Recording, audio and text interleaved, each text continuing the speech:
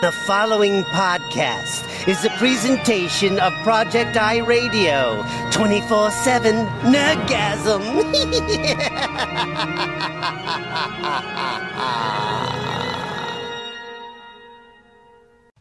No comment! Sir, what about the ending to The Rising? Motherfucker! What part of no comment don't you understand? Do you understand this? This interview is over. No comment! The f- Brian Keene was also unavailable for comment.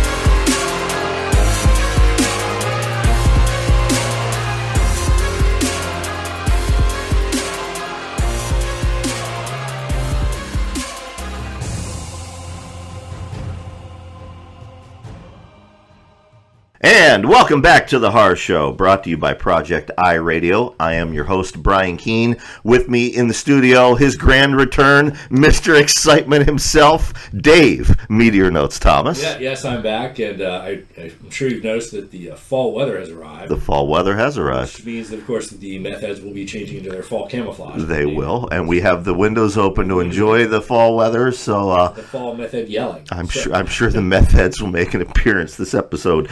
Uh, this episode is brought to you by Influence of Anxiety, Lovecraft, Bloch, Barlow, etc. All, which is a new exhibit at Brown University's John Hay Library in Providence, Rhode Island. This exhibition focuses on correspondence between H.P. Lovecraft and a number of budding young authors, including Robert Bloch. Their recorded communication is both visual and literary, descriptive and didactic, lighthearted and severe. It illuminates the shared affinities and fears of those in Lovecraft's circle. Uh, the exhibit runs from now until January 8th of next year, and for more information, you can visit library.brown.edu. And I would like to point out, Dave and I uh, had an opportunity to to glimpse a preview of this exhibit uh, before it was shown to the public. Uh, we saw some of the artifacts that are going to be included. If you're a, an H.P. Lovecraft fan or a Robert Bloch fan or just a a fan of the genre, uh, it is well worth taking a trip to Providence and checking this out. Absolutely. This was seriously one of the coolest things I've ever seen. We got to see it this past summer. Um, highly recommend that you uh, you go check this out. If you, like you said, you like Lovecraft, you like horror, and uh, it's, it's a really cool exhibition. Absolutely. Yes. Absolutely. Now, uh, later on in this episode, we have an interview with horror poet and writer Linda Addison, who has the distinction of being the first African American to ever win a Bram Stoker Award. So that's pretty cool. Uh, but before we get to that, Dave, I, I noticed uh, a critique online of the show this week. Yes. Uh, they said that we're too funny Yes. and yes. that I laugh too much. yeah, I, I need to stop being Howard Stern, and you need to stop being Robin and laughing at everything I say. So Yes, horror is very serious. yes, so so we're gonna we're gonna be very serious and uh, yes not laugh at The Walking Dead. yes we're Well, that's impossible. Um, we're, go- we're going to be very serious. Yes, This we're very serious. this is going to be the voice I'm going to use through the whole episode. I, of course, ignore pretty much any criticism I see because it's like YouTube. You never read the comments. So, Yes, I, I agree. Well, well, with that, Dave, welcome back from uh, Prog Power. The- we need to stop doing that right why does that turn you on? now. No, trust me. Wait, you got a hair on your microphone there, Okay. cat hair. Um, Max is like my new buddy. Yeah. He's, he like comes out and visits now when we, when we do the show and stuff. So he was just here. Well, I'm just well, distracted during the show. It's because I'm petting the cat. welcome back from Prog Thank Power. you, thank you. Um, your trip to Wacken, the big heavy metal festival over in Europe, uh, we talked about that on the air. That did not go as planned. Tell me, was Prog Power any better? Oh no, Prog Power was uh, much better than uh, than Wacken. Um, this was number sixteen. It's the fifteenth year because the first year they did two of them uh, back in two thousand one. The first one was uh, held in uh, Chicago, and ever since then, number two on, they uh, do the show in uh, Atlanta. So uh, you know, I traveled down to Atlanta on Wednesday, and there's a couple pre-shows, and then Friday and Saturday is the is the big event. So yeah, it was great. Um, it's great every year. Um, I've been to every one but the third one, and uh, you know it's it's a ton of fun. This year, uh, Anathema was one of the headliners, one of my all-time favorite bands, and I've never seen them live before, so that was exciting. And um, yeah, there was a ton of great bands. Riverside played this year. I don't know if you're familiar with them or not. I don't think I've heard of I them. think you've heard them in my car. Um, Riverside is like a Porcupine Tree, Pink Floyd type band. Okay. Pretty sure you probably heard them. Uh, so they played Falconer, a power metal band, played their last ever live show this year at Prog Power. No kidding. Yeah, they're done. Yeah, Yeah. the last show, which is you know a really cool thing to uh, have there. And um, geez, trying to remember who else we saw. Uh, Royal Hunt played this year with their original vocalist DC Cooper, and they they uh, did a whole album. Angra played and uh, did their whole album, uh, Holy Land. Uh, they were the other headliner, Angra, and uh, there was a band from New England called uh, Native Construct that opened the show. Right. Um, the really cool thing about them, they played very technical music. You know, it's it's metal, it's jazz, it's like it's very very challenging music. They they look like they're about twelve. Like the guitar player's seventeen years old. No kidding. Yeah, no, they were goddamn amazing. Yeah? I was just like, how young are these guys? What, what are, what are they called? Uh, they're called Native Construct. Native Construct. Yes, yeah. Yes, I, I, if you like very challenging progressive music, I highly recommend their uh, their music. It's it's not for the average person. Right. you know, because it's, it's really complex and, and stuff. But it was a ton of fun. You know, we and sometimes we have listeners say, "Well, I like metal, but I, I don't know what Dave means by progressive metal." And I always, you know, I always point to the more mainstream progressive stuff like Queensryche, Dream Theater. Right. Yeah. Um, Dream Theater is, is the best example that you could use for a progressive progressive metal band. They're kind of like the band that uh, their album Images and Words, which came out in the '90s, is pretty much the album that launched that whole genre. Right. Genre, as I can Yeah. almost speak. Um, there's been a couple. There's probably for that. Obviously, Queensryche early on. Certainly not now. They're not progressive metal band anymore. Um, but uh, Queensryche, Fates Warning, Fates you know, Warning. the early Fates Warning stuff. So uh, yeah, but definitely like like like you said, the Dream Theater is the band that uh, if you're thinking about the kind of music, because this festival is pretty much is either power metal bands or progressive metal bands, and there's some of there's sometimes they have a you know band that'll be like a more like along the lines of progressive. Wait, wait, listen, metal. listen. Oh, I, I hear a meth head outside. okay, I'm sorry. Go ahead. I don't I don't mean to, oh, to interrupt. How dare I? um, no, it, it was uh, the festival was a ton of fun. Uh, Voyager also played this year. They're from Australia. Um, they had recently been touring with a band called Evergrey, who uh, Evergrey and Voyager played the Wednesday night pre-show, and Voyager also played the main show this year. Uh, I highly recommend when they tour America the next time people to go because they're one of the greatest live bands you'll ever see. They are exceptionally entertaining on stage. I've seen them six times now. The show they put on at Prog Power is the best show I've seen them play yet. Um, it, it just they're so entertaining live, and they're, they're also great studio band too. But live, they're just nuts. Yeah. They run around the stage. They're just crazy people. It, it was a ton of fun. So, um, yeah. So there, I mean, it was a festival, and obviously you've heard me talk on the show before. You know, I had my heart surgery last year, I almost died. So a lot of these people go to the festival. Like I said, I've been every one but the third one. So there's a lot of people that go pretty much every year. So it's like a family It's kind of reunion. a family reunion, drunken family reunion, but a family reunion nonetheless. Um, so a lot of people I only see there once a year. Right. So I had a lot of attention this past weekend from people like, "Oh my god, I'm so glad you're okay. I'm so glad you're okay." And honestly, you know, I'm you're sarcastic and evil and all that crap. It was really nice to hear this from all these people. I got so many hugs from hot girls. Um, it was delightful, and, um, you know. So uh, no, it was it was a ton of fun. The the, the guy who puts it on, it's uh, his name's Glenn Harveston. It's him and his wife Jen who run the festival, and it's I like I always say, it's the best music festival in the world. It's so well run. All the bands are always great. All the bands come and they put on a great show. Um, you might not like every band, but it's a music festival. Right. You're not gonna like every band in the bill. You know, if there's a band playing I don't necessarily like, there's a taco. That, place right that's street. time to go to the beer stand, Well, you know. There's a taco place right up the street. It's like one of the best Mexican restaurants I've ever been to. I bet they, they do a ton of business It's, during it's, this. yeah, it's called Sausalito's West Coast Grill, and the dude runs called his name's Ernesto, and Ernesto says that he loves what he calls the black shirts. Yeah. So obviously, the metal shows everybody has a black shirt on. So I remember the time he said that, I thought it was really funny. So we always say the black shirts are coming. Hey, what's up, man? What are you doing? Come here. You'll be on the radio?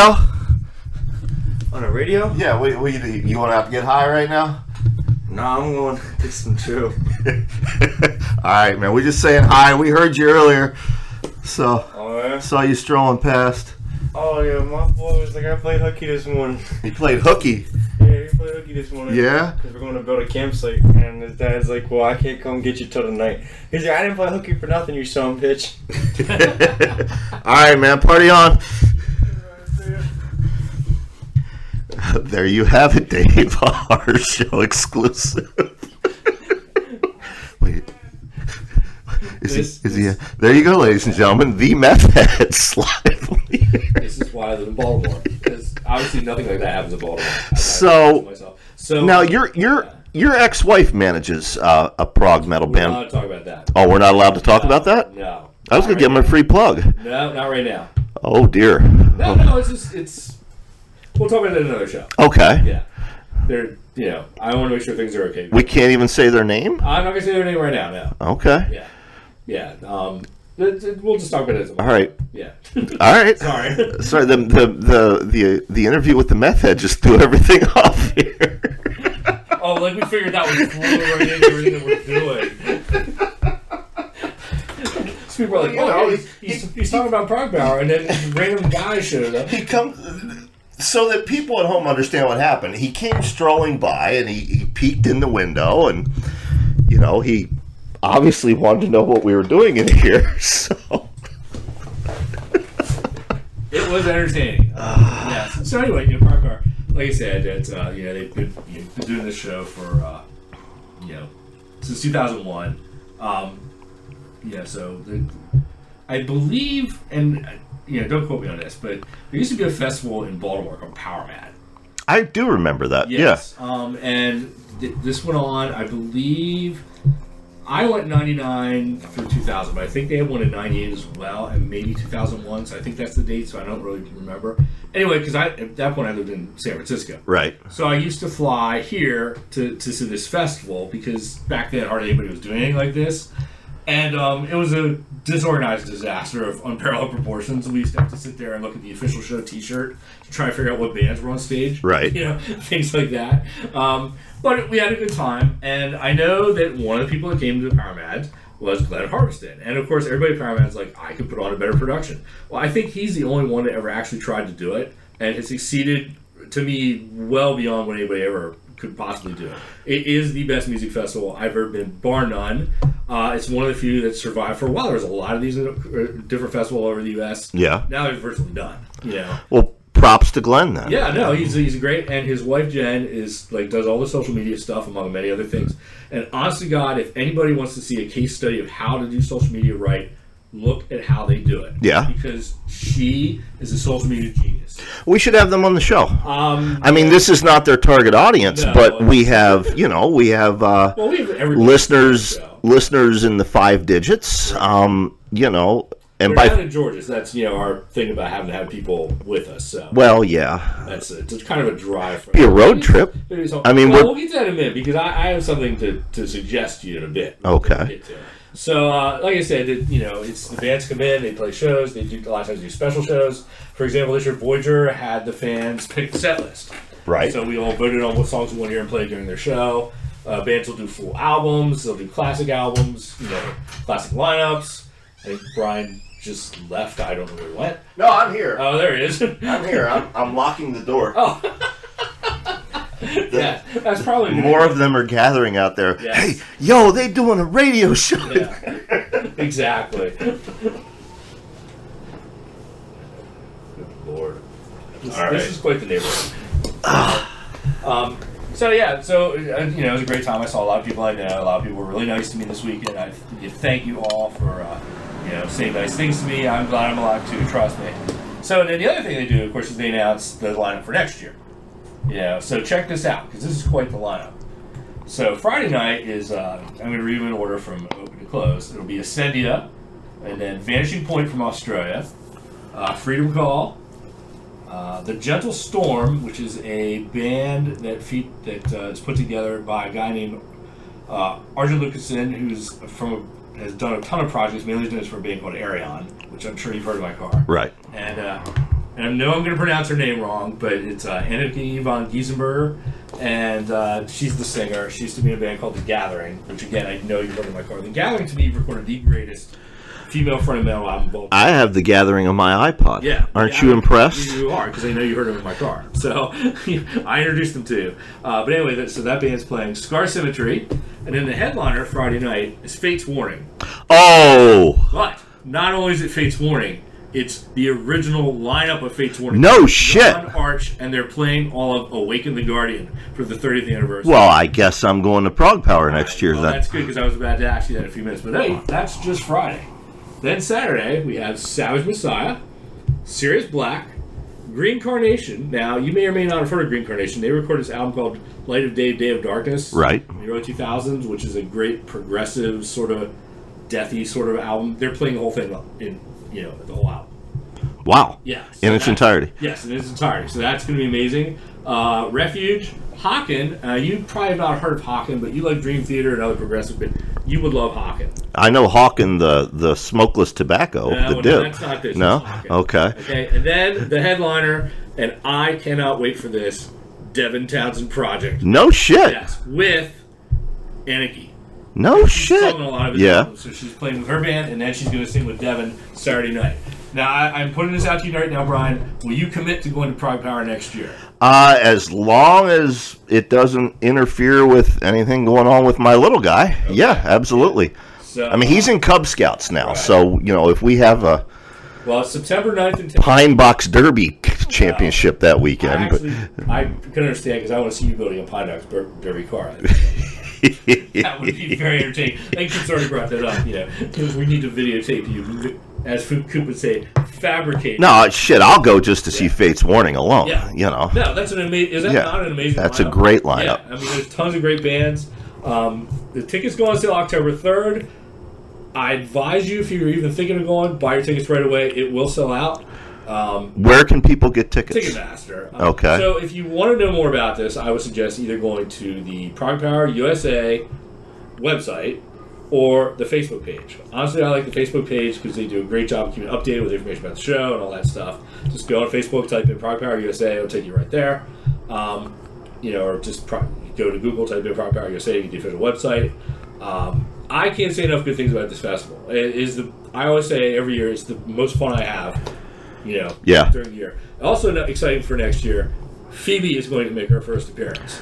So not, I won't be the only Prog uh, Prog Power virgin. No, there's always new people. Okay. I'm trying to get uh, Jessica yeah. and uh, Rachel to go. Yeah. Yeah. Okay. So uh, hopefully they'll go. I've already been yelling at them. Cool. Because they're like, oh, wow, this band's been like, you are going. Well, that's usually conducive to getting people to do things, yelling at them. Well, that's what everyone is to me, so I, I assume that's what, that's what works. Um, but yeah, that's that, that's that's what I did. I went to Prog Power and uh, had a great time. I, you know, I had a great weekend too. oh yeah, Yeah, yeah. I uh, had a date and uh, date. a date. Okay, anybody I know? Um, yeah, you know the person, but I'm not going to mention their name on the air because, uh, you know, we're we're trying to do this privately, and, and also because it wasn't like a like a romantic date. It was just you know two friends hanging out on a date type Okay, thing. I'm pretty sure I know who this is, but continue. But yeah, um, we're both uh, M Night Shyamalan fans. Um, that's that's something most people won't admit to anymore. you know, That's right. Sorry And- for laughing. yeah, no, his you know his new movie was out, The Visit, um, and uh, I was looking for somebody to go see it with. And yeah, you're right. These days, most people will not go see an M Night Shyamalan film with you. And, and Um, rightfully so. Let's let's let's admit it that he's not made. it. Well, hold, hold on, I'll, I'll get. I I'm saying I, I'm not talking about this movie. I'm not seeing it, but I'm saying his track record of late is not impressive. I defended him up until the happening. That was the one with the trees, right? Yeah, that was the one where the, the Yeah. plants decide to kill everybody. Um, you know, I even I even liked uh, you know what was it, the woman in the water. Um, I thought the village was great. That that was the last one I liked. You know, After that, I Um, never saw Lady in the Water. The tree one, I gave up. I Yeah. watched it on TV, and about halfway through, I'm like, "This no." the the tree one did not work for me, and and you know that review is is in print if you want to go read it. Um, but you know, I've always defended the guy. I, I think he's a great filmmaker. Um, I, you know, I do. I think he relies on the twist, sure, but you know that's his shtick. It's it's like yeah, every artist has those. Be they a writer or a filmmaker, you have your little tells, your little thing. You know, we've we talked on the Tom Piccirilli episode. Uh, you know, lots of things dealing with with fathers and sons. Everybody has stuff like that. He's got the twist. Um, so yeah, this this friend and I, we we I drove uh, three and a half hours, and Wait, wait, wait. Three and a half hours? yeah. Uh, I can't imagine who this person is that lives three and a half hours from here. Well, it's a pretty wide geographical region, Okay. Dave. We're, we're right here in the Mid Atlantic, Yeah, but uh, okay. it picked her up, and we went to the, the we went to see the visit, and uh, we both enjoyed it. Um, it is a it is a return to form for M Night Shyamalan. Um, it's it's scary. Uh, it has a lot of heart. Um, it's a really clever, well done fascination of a young people's discomfort with old people, and and b the the fear older people have of, of dementia and Alzheimer's. Um, it's it's really well done. Uh, it's also unexpectedly funny. This is what I heard about. Is Yeah. somebody said it's a very funny movie. Yeah. Like, man, I didn't get that from the trailers at all. Yeah, no, it I, it was not marketed as a comedy, but yeah, it's it's along the lines of you know Tucker and Dale versus Evil or Shaun of the Dead or House. You know, it, it's it's a it's a horror comedy, absolutely balls out horror comedy. Tucker Dale Um, versus Evil is one of those movies I've never watched because I thought the trailer gave away the whole movie. Oh no, you need to watch it. Really? Yeah. Like the trailer, doesn't the trailer show like every death in the movie? And I'm like, I don't need to see this It, now. no, it's still worth watching. Okay, uh, it's, I, I know it's on Netflix or something. for lines like these these teenagers keep throwing themselves into the wood chipper. I mean, it's That's just it, it, no, it's a fantastic film.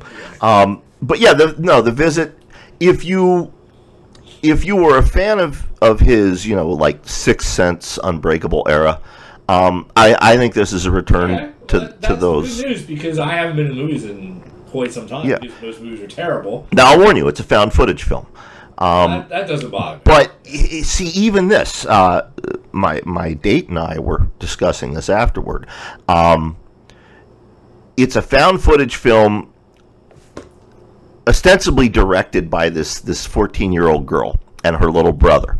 Okay, and the way the camera is held, the way the footage is shot, it looks like it's being shot by a little brother and, and you know a fourteen year old girl. I mean, it, it's shaky and it's not always in focus, and uh, no, it, it's real good. I figured out the twist beforehand, and uh, Well, I mean, that's you know. Yeah, It's but- like the Sixth Sense. I figured that out about a third of the way through the movie. Yeah. but I still enjoyed the movie. exactly. I, you know, as long as the movie's entertaining, if you figure out what happens, because most movies and, and TV shows, I usually figure out what's happening before they end. I just, I think it's because I read a lot, you know. Yeah. And you write and read, and I just think, you know, creative people were good at like.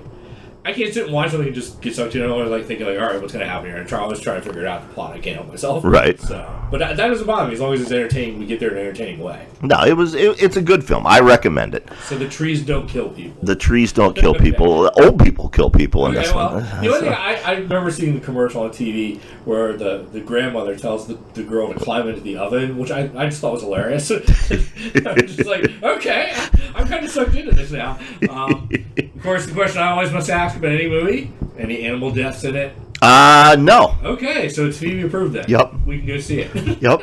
Yeah, Phoebe Phoebe can handle this movie. Okay. Yeah, because we were talking about going to see it, and I, I said, well, I need to hear some reviews first because uh, M Night's recent output has not been too impressive. So that's really good that he's maybe found his way again. That's right. So okay, You know, it's worth noting. I mean, Yeah. you know, he's a homeboy. He lives right here in central Pennsylvania, just like so many of the rest of us I do. always forget that, but Yeah. yeah, he is from this. area. Um, there are some there are some some incidental scenes when they go into town in the film, and I'm like, hey, I know that place. Hey, I know that place. Yeah. So you know, um, so other news. Did you hear about Stephen King while you were at Prog Power? I did see this on the news. Yes, That's right. Big deal. Stephen King was presented a National Medal of Arts in a ceremony at the White House. President Barack Obama, when awarding King with the medal, said, quote, one of the most popular and prolific writers of our time, Mr. King combines his remarkable storytelling with his sharp analysis of human nature. For decades, his works of horror, suspense, science fiction, and fantasy have terrified and delighted audiences around the world. End quote. Um, I would like to to point out now. I am I am not so much a fan of Barack Obama. I, I, I think I'm on record with that. Uh, and and this is not the, the Rush Limbaugh show nor the Rachel Maddow show, so we're we're not going to get into that. But uh, I was I was very pleased to hear Obama directly reference horror as a genre in in that quote. Um, because you, you know, working in this field, we never get mentioned. We, it's it's the you know the least mentioned genre ever, unless somebody wants to make fun of writing. Yeah, I mean, you know, uh, like we talked about on the, the Edward Lee episode. I mean, cookbooks are more popular than Exactly. than horror novels. So it was, I, regardless of your politics, whether you like Obama or not, whether you agree with Stephen King's politics or not, this is very good for the horror genre, and therefore it's very good for all of us. I mean, it's a national fucking medal of arts, you know. Um, pretty much the, the highest honor uh, an author can get in this country. So, you know, I don't know. I thought it was way cool, and I, you No, know, cool. I mean, you know, I, I I know I'll never be nominated for anything like this. So well, you might. Oh, we we won we won three awards No, last weekend. This is true. I see. I've never won anything, you know, other than I, I, the prodigious hairball award. I win that on a regular basis for my cats. But um, you know, no, we we won our, our film that we made, Fast Zombie Suck. Right at the Imaginarium Film Festival, uh, we got we won best short, best genre short, and best screenplay. I I seriously, I saw this the other day. First of all, I didn't even know it was entered until like I who entered it. I like Uh, I think Lombardo did. Lombardo said? Yeah. I assumed he did, but like I had no idea it was entered. So I saw that the other day that oh hey the movie's gonna be at a film festival. I'm like oh that's cool. And then I saw this I guess what Monday. Mm-hmm. Um, you know I got home and I'm like holy crap like seriously I am quite pleased with this. I guess I'm serious. I've never won an award before. Which actually, after thinking about it, that's not true. I won the attendance award when I graduated high school because I only missed one day of high school. I only wish I had the health now that I had that. Well- now I would not win the. I would win the. How often are you going to go to the emergency room award? Um, but no, this actually is like really cool. Yeah. I, I'm really. We get we get real trophies and everything. I, I In fact, that was my first thought. I, I got notified Sunday that we had won, but you know they hold off on announcing it till Monday. And uh, my first thought was, okay, we get three physical trophies, and there were seven of us involved in the making of this film. How the fuck are we going to divvy these up?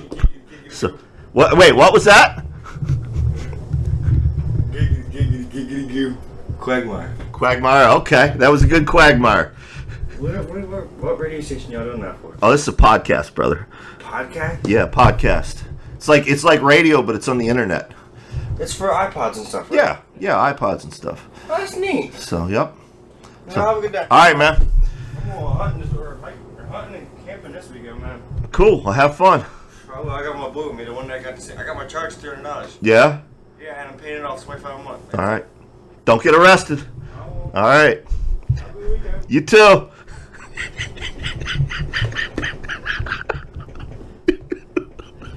we have lost control, Dave. I just want to point out. seriously. I want to point out that uh, a random dude walking by and saying stuff into the window is more, co- more, co- more coherent, unlike me, more coherent than anything with those nitwit three guys with beards yelled at us during Econ. I just want to point this out. I'm sorry. I'm I'm broken. I need a moment. Folks, folks at home, the, This is why I never hit the, the pause button. the the plan this episode would you know now obviously we've got a huge audience but they're all they're all fans of the horror genre they like horror films horror novels or or maybe they make horror movies or horror novels um but you know obviously we want to expand that audience so our plan this week was Dave was going to talk about Prog Power, and then we were going to promote it to you know progressive metal fans and bring them in. Um, so this is going to be their their inaugural episode, and they're going to be listening, and and all of a sudden there's you know drug addled teens doing Quagmire impressions through the window. Oh my god! Philadelphia on one side, Pittsburgh on the other, Kentucky in the middle, as uh, Chuck Wendig said in one of his books. So- One last bit of news, Dave. But no, I just uh, quick the the whole award thing. I I just think it's really cool. I know you've won awards and stuff before, but like I said, this, for the amount of work that we put into that movie, I, I'm very pleased with this. I'm not jaded with awards. Yeah, I have won some awards, and you know, yeah. To be honest, once they hand you the Grandmaster Award, um, or you know, once a flag is flown in your honor over I mean that- over the military yeah. base in Afghanistan, where the fuck else do you go? I mean, I guess I could get an Oscar. Um, I could get a National Medal of Arts like Stephen King, but but that being said, I'm not jaded. It's always it's always nice to win an award. I- Um, I you know. I'm very happy about this. I don't go out and lobby for them, No, I would but never- but if somebody wants to hand me one, yeah, it's it's it's it's it's a treat. It's an honor. Um, especially with with Fast Zombies Suck, like like we said on that episode of the podcast. The reason I I wanted to do this is because I wanted to to give the rest of you a showcase for your talents. So the fact that that it is now winning multiple awards um, tells me I did the right thing. It tells me other people are recognizing, you know, all of your all's talents the same way I did. So I think that's the I cool part. I usually don't do this, but I, you know, won the award the other day, and I was I linked to it. The I put the thing on my Facebook page, and I linked to the movie again so people could see it.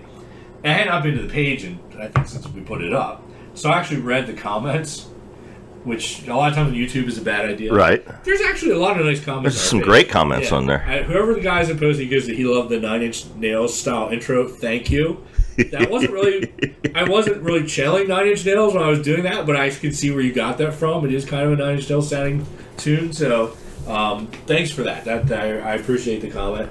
And um, yeah, it's really cool. And and thanks to the Imaginarium people. And uh, hopefully we can get this in some more film festivals. Absolutely. so- I hope so. All right. Well, our final bit of news, Dave, before we get to our interview with Linda Addison. Um, two of the absolute best writers of our generation. I mean, just absolute best from our generation. Mehitobel Wilson and our very own co host, Geoff Cooper, uh, who's not here today. Both of them have new books coming out this fall. Uh, Coop's Answers of Silence is coming out in paperback and digital from Deadite. And Bell Wilson's Last Night at the Blue Alice is coming out from Necro. And I, I believe that will be, I may be wrong on this, but I believe that's hardcover, paperback, and digital. Yeah, Um, I think that's right. Yeah. Now, this is cause for celebration, and I know a lot of younger listeners are probably like they're probably aware that Coop writes, but they've never read him, Right. and they've probably heard of Bell but never read her, and and that's because both of them they're very they're very slow writers, and I don't mean that as a criticism. It some writers are fast, some writers are slow. Um, you know, Coop, this is the first time in seven or eight years he's had something come out. And Bell, I think it might be a decade. I her last collection was Dangerous Red. It's it's I, And- long. Yeah, I, so so this is cause for celebration. Um, Uh, Coop's book is is a paperback version of the I think it was the the the hardcover book that that Jesus and I uh, put together. It, we wanted to publish Coop, and uh, he didn't want to write anything new. And we said, okay, well, how about you write some story notes? Could you write some story notes? And he said maybe. And uh, yeah, Jesus and I spent a good four months uh, selecting which short stories to include. They, they cover his you know his 20 year career, and uh, Jesus wrote a great introduction for the book. And uh, Coop, true to his word, he, he wrote some new story notes. But yeah, that was strictly a limited edition. Yeah, there's only like what 150 of those. 300 300 copies. Yeah, and there's not many. Right. Yeah. So, uh, So the odds of most of the people listening to the show having read that are very small. yeah, now you know Coop. Coop. The reason he, the main reason he he writes as little as he does is because he absolutely hates the fucking business. He hates the business. And uh, when Jeff Burke was here, when we had him uh, on the podcast, we had that little party afterward, and Jeff managed to corner Coop on the couch and. I don't know what he said. I don't know what kind of magic hoodoo he laid on Coop, but by the end of the night, he had a he had a book deal to do that thing in paperback and digital. That, that's right. I'm pretty sure Jeff is one of those people that can talk pretty much anybody into anything because he's just so energetic. just want to you want to go along with whatever he says. I fucking love that kid. He's, he is he's, he's amazing, and I, you know, hopefully I'm going to BizarroCon, and, and I would love to interview him again for the, the podcast because he's, he's I agree. to talk to. I agree. Um, but uh, that that's great, and uh, I have read that book, and it's amazing, Yep. and uh, you should all buy it. It's paperback, so like it costs nothing. Absolutely. You know the the Jack Haringa episode, which uh, which just aired, what couple two weeks week ago. two weeks ago. Yeah, I think so. You know, we we talked about extreme horror and how while Jack is not a fan of extreme horror, he loves Jack Ketchum. Um, I I would say if if you feel that way, if if you're like Jack, if if you generally dislike extreme horror but you love Jack Ketchum, that you you try both Coop and Mahita Wilson. Uh, both of them are poets. Both of them use just the exact right words. Um, I mean, it, their stuff will make you flinch. It, it it'll make you it'll make you gasp. Yeah. But it's so beautiful the way they do it. Um, so yeah, I'm looking forward to both of those. I, I yeah, I, you know, like I said, I have the Coop book, but I'll, I'll definitely buy the paperback anyway because I have passed the hardback round of Evil. yeah, Um, I know my ex-wife read it. She loves Coop's work. so Yeah. she was very excited to read that. But uh, having the paperback, uh, but uh, the the Bell book, I'm very excited to read. Oh, absolutely. So, uh, um, so speaking of books, I just want to quick mention uh, that I and this actually was before last week, but I was here last week. Uh, I finished Head Full of Ghosts. Well, next week's episode, then we need to debate We're that going ending. to uh, have a discussion about this coming up, and I'm going to tell people now it is going to be spoiler filled because you can't discuss this book without spoiling it. Exactly. So what we're going to do is we're going to do our normal show like we do, and then after the end where we read the ad and, and, and say goodbye, then we're going to put at the end, the very end of the episode, our discussion of the book. So that way, if you've not read it, you can just turn the podcast off because you don't want to know anything about this book. I wouldn't even read the Dust Jacket before you read it. Right. You should just pick it up and just read it. Right. But I will say, and this doesn't spoil anything, best thing I've read in a year. Right. Oh, I, I agree. It's it's the best book I've read this year. Unbelievably good. And, uh, you know, oh. Oh, we have we have another visitor, Dave.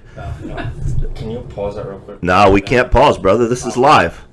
Can I get a thing? Can I get a picture of water? My water's done, and I need to flush my toilet.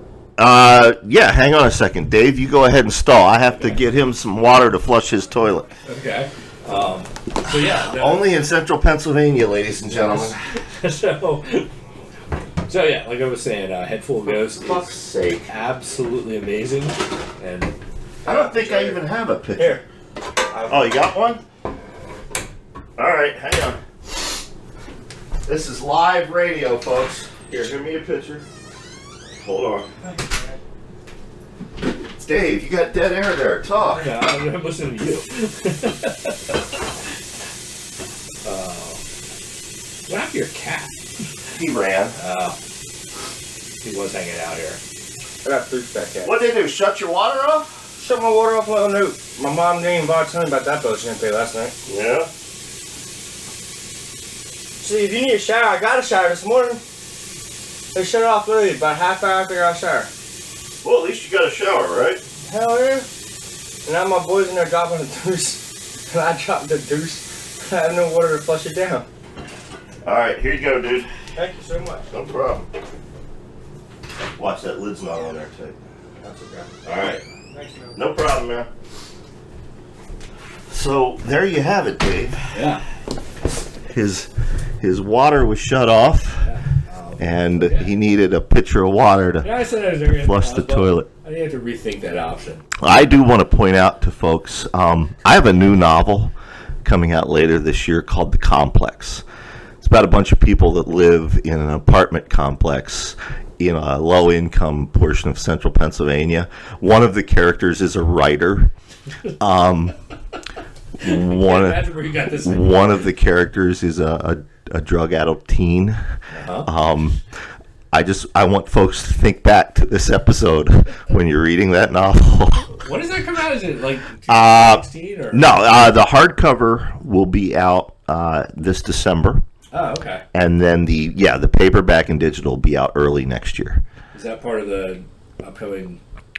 Uh, the hardcover will be part of this year's Maelstrom. Yeah, Maelstrom, okay. yeah. I couldn't think of the Um, but I I wasn't planning on talking about today, but I, I think it's one of the best things I've written in many years. Well, I have to say, I, I read, uh, I think the at least the first two chapters. Right. It's really good. Yeah. I, I'm really seriously, and I'm not saying this just because you know I do this podcast with you. I seriously looking forward to reading that. But yeah, yeah, you, The beginning was amazing. you just you just met one of the characters Yes. in the novel. And Mike Lombardo once again gets killed in it. So He does. That's always that's always an entertaining thing to read. So. I mean, you know, people think like that was staged. Like there, Yeah. there can't really be all that chaos going on here. no, there, there is. It- Um, yeah, Yeah, I. Twenty four seven, ladies and gentlemen. can I borrow a pitcher of water to flush my toilet? all right. Well, This is why I own a house. That interruption was brought to you again by the influence of anxiety, Lovecraft, Bloch, Barlow, etc. All, which is a new exhibit at Brown University's John Hay Library in Providence, Rhode Island. This exhibition focuses on correspondence between H.P. Lovecraft and a number of budding young authors, including Robert Bloch of Psycho fame. Uh, for more information, visit library.brown.edu and find out about it. And now, Dave, let's go to the interview with Linda Addison and let's see what kind of chaos awaits us when we return. Okay, as, always, and this is actually the last interview that, for Necon that we have.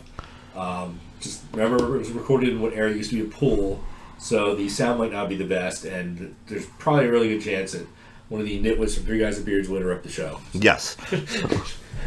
okay, and our next guest is a poet and writer of horror, fantasy, and science fiction. She's not only a three time Bram Stoker Award winner, four time Bram Stoker Award winner, I'm being informed by Dave. Uh, I'm going to start over. She's not only a four time Bram Stoker Award winner, but the first African American to win the award. A founding member of the CITH writing group, her books include Animated Objects, Consumed, Reduced to Beautiful Gray Ashes, and How to Recognize a Demon Has Become Your Friend.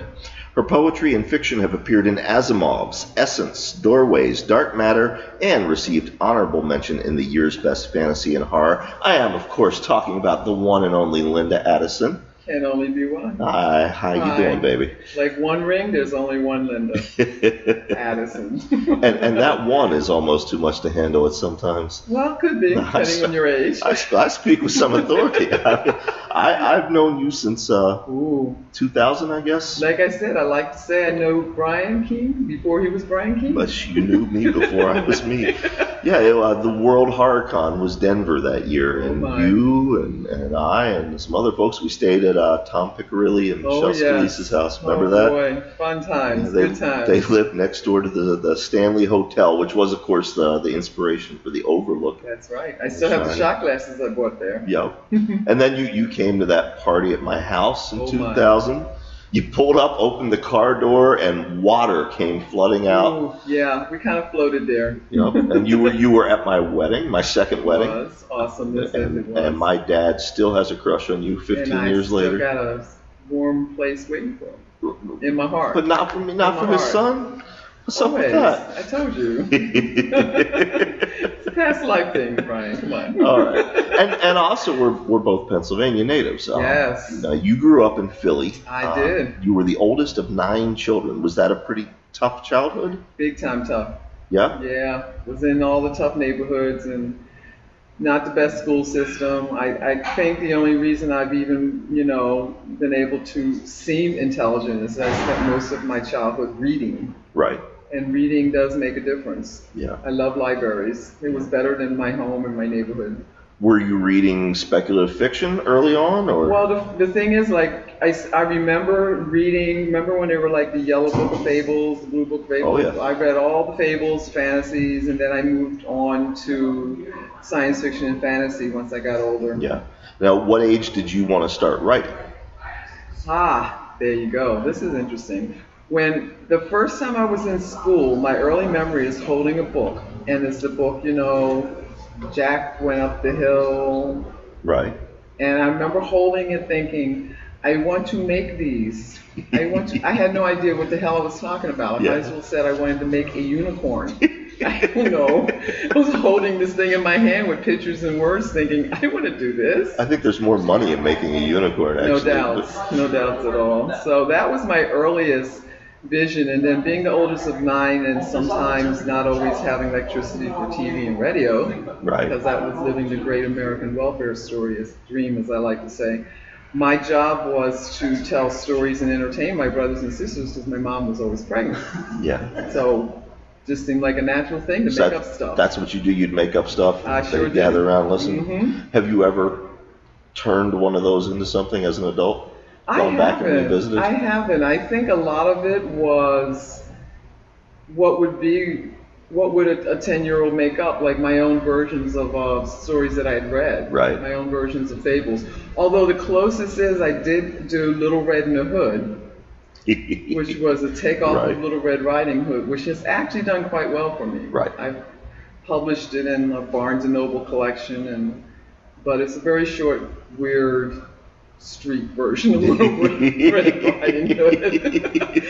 yeah. So when when you actually started writing, I mean, did you aspire to do it as a career, or was it just No, man, something for personal poor. enjoyment? I, I grew up poor. I knew being an artist was poor. I wasn't gonna make that a choice. you had you had that presence of mind. Yeah. Yeah, well, I had enough of that. That makes sense. I know you you started submitting to Asimov's when you were in college. way early. When I have the first 20 um, issues of Isaac Asimov's magazine, Right. and I had read all of his stuff. I met him um, when I after college, but as soon as I wrote anything that was close to it, I just wanted to be in Isaac Asimov's magazine so bad. How many uh, rejection letters did you get? 15 years, baby. 15 years rejection. I sent everything that was even. Can you curse on your show? Oh yeah, we say Coop is a co-host. Okay. So. Enough said. Um, I sent anything that was even close to seeming like science fiction, yeah. no matter what that shit looked like. If it had anything in it, I sent it, and I was just getting form letters and form letters, and then I'd send it somewhere else, and I, you know, I'd get stuff published, but it always went to Asimov's first. Yeah. And then um, how I got in? You want to know how I got Well, in? I, I remember it was uh, it was for the poem "How the Dinosaurs Died," but yeah, listeners don't know this story, so tell the story. So I went to New York as book country in New York, and I was talking to Frederik Pohl Right. and talking about writing science fiction and this, that, and the other. And he said every science fiction writer has to write a How the Dinosaurs Died story. And I was like, man, okay. So I go home and I write this like 57 word story on how the dinosaurs died. That's about as far as I can get. and I was in a writer's group, which I still am, CITH, circles in the hair. right. And I gave it to them, and they were like, uh, Linda, this is not a story. This is like more of a poem. And I was like, okay, because I had been sending Asimov stories. Right. Just stories, not Just poems. stories. So I, I turned it into a poem, took some words out, you know, did some indents, break, line breaks, Right. sent it in, got accepted. It's like, oh my God, what the hell? and then I, and that was like my dream come true. And then I was in it for like four times, and I was like, okay, now I want the New Yorker. Right. But the, the key, listeners out there, 15 years of rejections before she did that. Yep. So I know, you know, obviously then you took off. Um, Yeah. Well, like I said, I was getting published in other places. It's just that was my dream place, so everything went there first. I was with it, Carpe Noctem was that way with me. Um, Mm, 20 years later, I finally got a story in Carpe Noctem this year. And Mikey Hike is the fiction editor. You would think at some point he would have thrown one of his best friends a bone, but no. It's all business when it comes down to business. Yes, it I'm is. like that too. I can love you to death, but I'm sorry if it if it don't work, it don't work. We had Jack Haringa on last week's show, or a couple weeks ago, I guess, and uh, you know he's now the president of the board of the Shirley Jackson Awards. Oh my. You'd think maybe, maybe I'd be up for one, but no, that's not. We all we all just doing this like business. Come on. You don't love until you write something that don't work, and then it's like whatever. But it's not always business. I mean, there are moments. You were the first African American to win the Bram Stoker Award. That was for Consumed, Reduced to Beautiful Gray Ashes.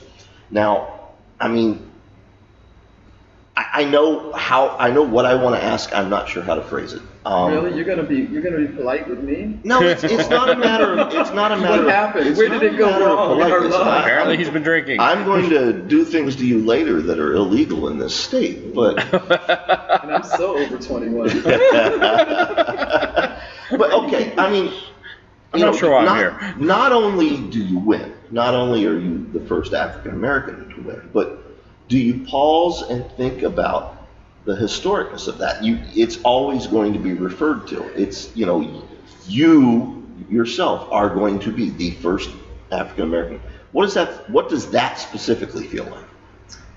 Well, you know, um, I first of all, when I first won the Stoker, besides being like blown out of my head because I was on a ballot with people that I admired, Right. like I would go and see where Charlee Jacobs published, and that's where I'd send my stuff. You know what I'm Right. saying? So how did I beat her? I don't know, uh, and others. Um, I just found out afterwards. I looked on. Somebody's like, "Oh, you're the first black," and I was like, "No." Yeah. And then I look on the list. I'm like, "Oh." Oh yeah, Um, now in my 60s, and not that I'm old, but you know what I'm saying. I got old. more behind me than I got in front of me, and there are moments where I think, what have I really left on this planet besides an awesome sun?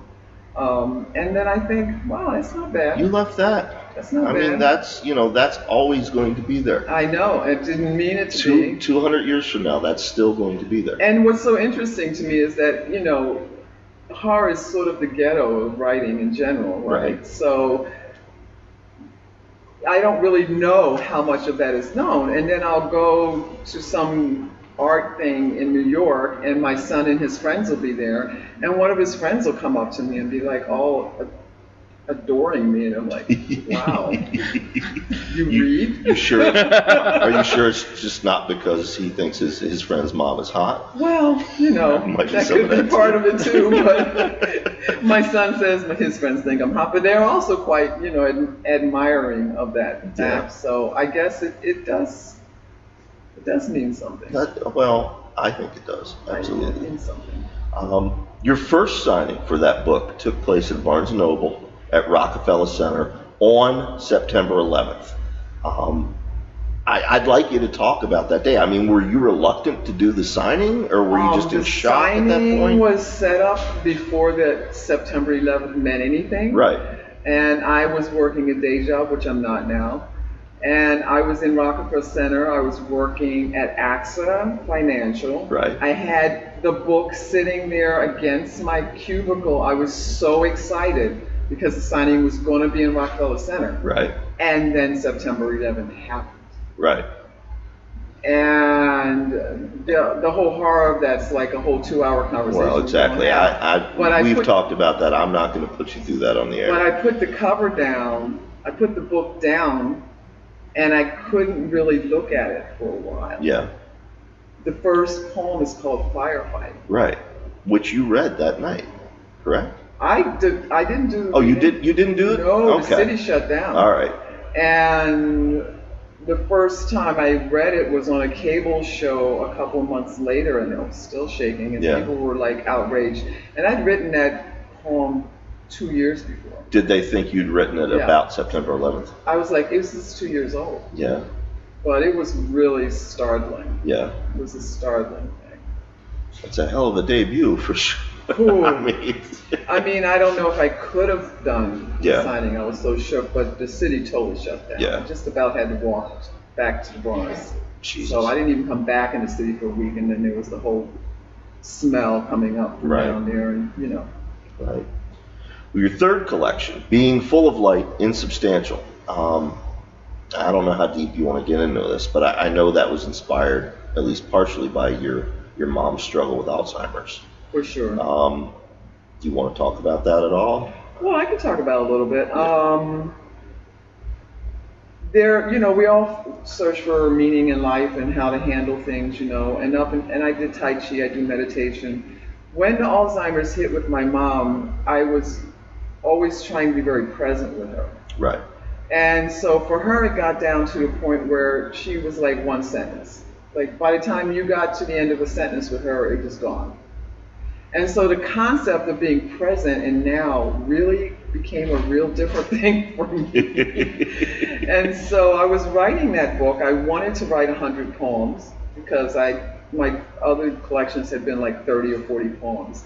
So I was really intent on doing 100 poems. It was such a struggle Right. such a struggle, but I was determined, Yeah. really pushing myself it And you did it. I did. What What do you? and it pref- won a Stoker. It did. It did. It did. The fourth. That was your Third. fourth. Was that your third? What was the fourth? Four elements. That's right. That's right. It's been a long weekend. I know. so what? I mean, what do you prefer writing? Poetry or prose? Well, poetry is just like constantly going through my head all the time. Yeah. I'm looking at you, I'm talking to you, poetry is going through my You head. writing a poem about me right now? I can now? write a poem about anything at any time. Yeah. I could be Harlan Ellison in the shop window writing. I mean, I could just do it. So it, it's sort of genetically. I have to say, you're much better looking than Harlan Ellison. I like his hair though. I think it's pretty. Is it real?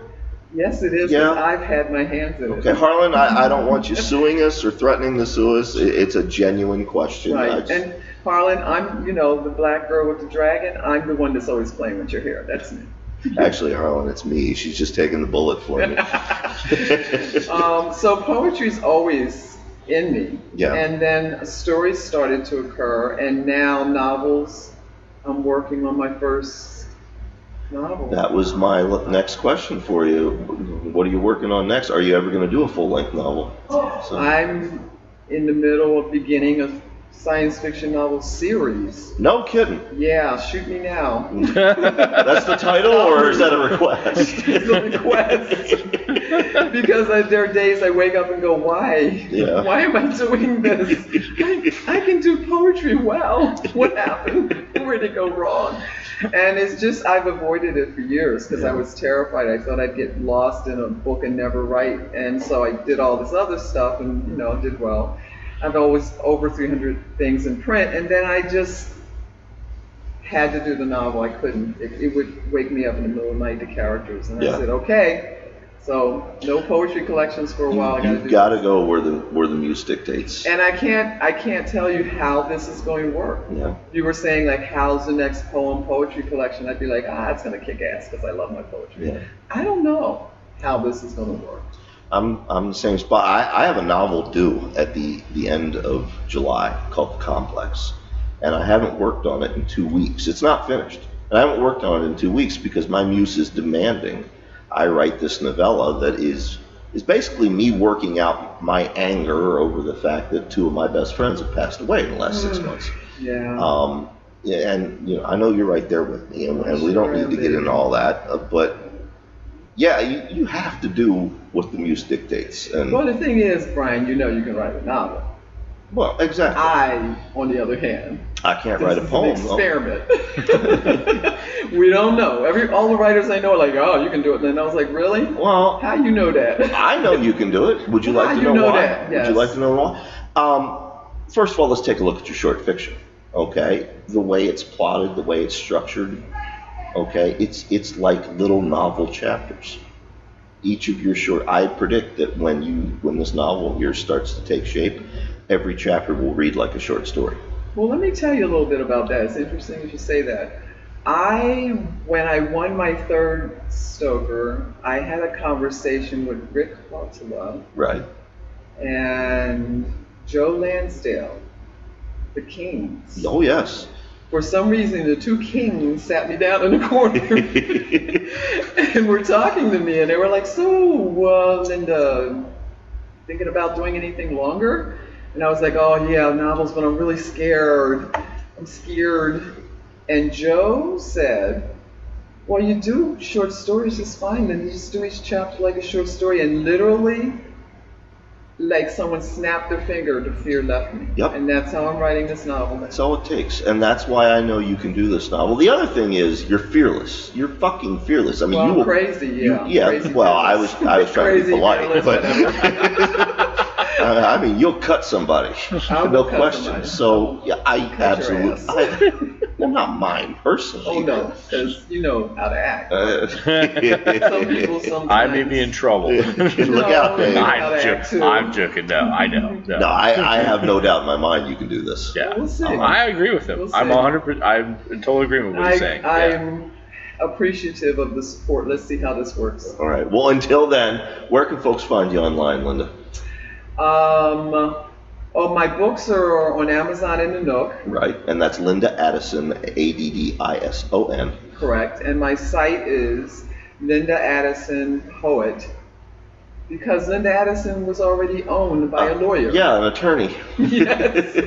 And her and I are always coming up in each other's Google lists.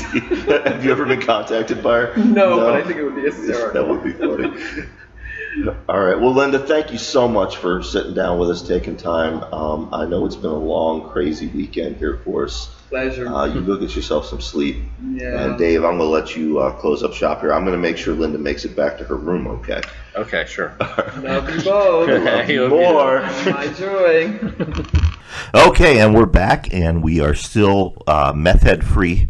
so let's try to wrap this up before they return. I, I have something I, I want to ask, or just mention. I, I don't think we're gonna have a discussion about it, but uh, I finished watching Mr. Robot. I did too. Yeah. Um, I didn't necessarily like the way it ended. Now, I'm not going to get into to spoilers or anything because I don't think a lot of people have watched it yet. But I kind of felt like the story was headed in a direction and it kind of shifted a little bit because I thought originally the show was only supposed to be one season, Oh no. wasn't it? No. Okay, so it was always meant to be multiple Yeah, seasons. mhm. Okay, I just wasn't quite pleased with the ending, but I, I was very entertained by it. So I loved it. I mean, you know, politically, it spoke to Well, me. yeah, it's, it's, Um, it did me too because I, you know, Yeah. we, we agree on a lot of stuff, not everything, but um, but uh, it, it was entertaining. But I think the beginning part I liked a little bit better than the end, but you know, still it was entertaining. Right. So, You didn't like the whole Fight Club twist.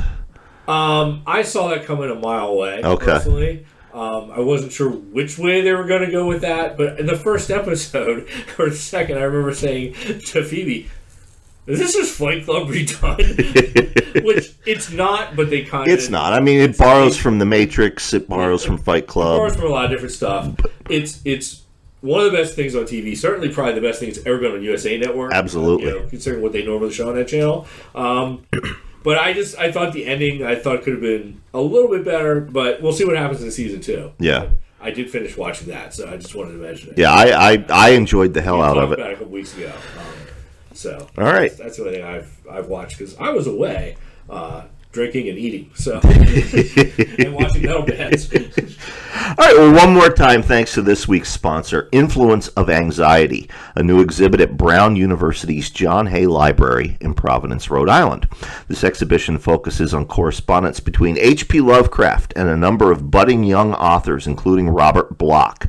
Uh, it runs from now until January 8th, and for more information, you can visit library.brown.edu. And I would just like to point out, Dave, we've got Brown University sponsoring the fucking show. I- it's impressive. Who does three guys with a beard have sponsoring theirs? I, I can only imagine.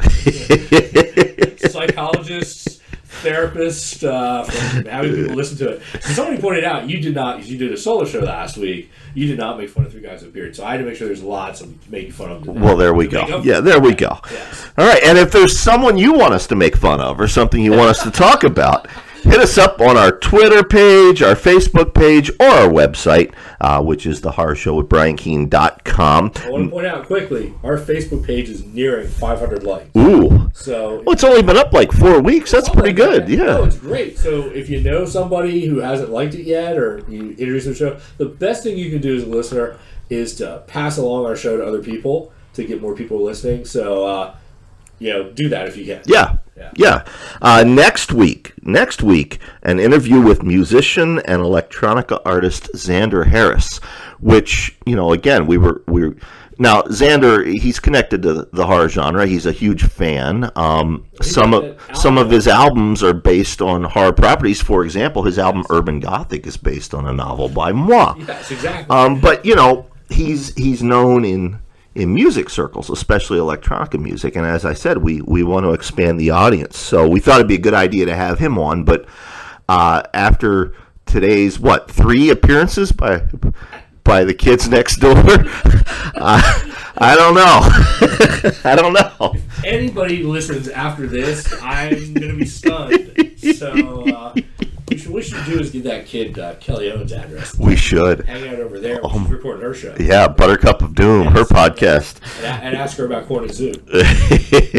I would like to point out that the horror show Buttercup of Doom, Three Guys with Beards, and all the other Project I radio shows are available on iTunes, Android, Roku, Stitcher, and all other platforms. And you can visit Project I Radio online at projectiradio.com. To advertise on the horror show, contact Jess, J E S S, at projectiradio.com. And Dave, until next week, always remember to have a pitcher, pitcher of water there next to the toilet in case you need to flush it. Okay, yeah, that's that's some advice that I can't live without. I also say kids don't.